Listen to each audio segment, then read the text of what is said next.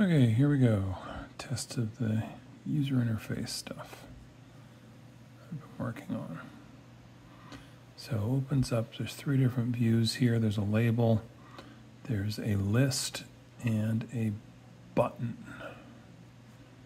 And you can push the button, and as you see there, it says button clicked, none. And, and it says none because there's nothing selected. If I select something like settings, and then push the button again, then it says choice that. So you can click on different parts of the list.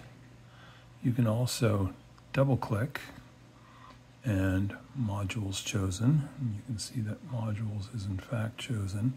You can also click and drag to scroll the list. So in this case, I've got sensors selected. I push choose and it says button click sensors.